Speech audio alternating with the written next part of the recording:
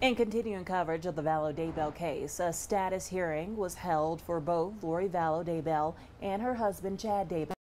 Lori's was quick and to the point. The judge is looking for a progress report on her mental health to determine if her commitment to psychiatric treatment should be extended.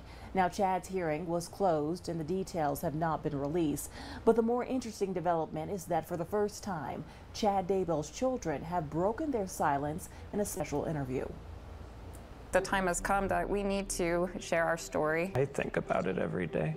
It was just so heartbreaking. My father needs someone to be a voice for him, to let people know what's real, what we know. Wednesday, I speak with Jonathan Vigliotti ahead of his 48 hour special that will air on our sister station, Eyewitness News 3 at 9. Now, you can find out more about the special and all of our coverage on the Daybell case at localnews8.com.